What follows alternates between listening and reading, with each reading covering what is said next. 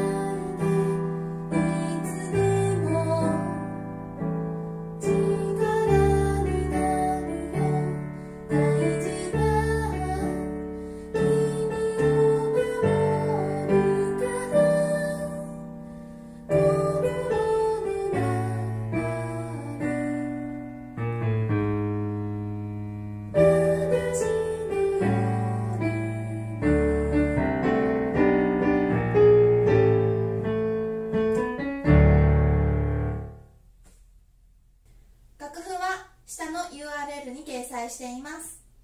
いいねボタンをクリックしておくと検索する手間が省けます。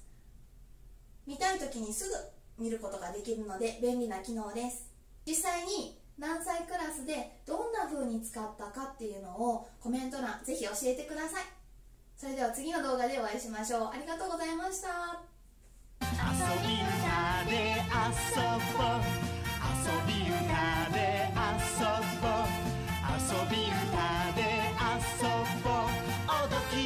ワクワク止まらない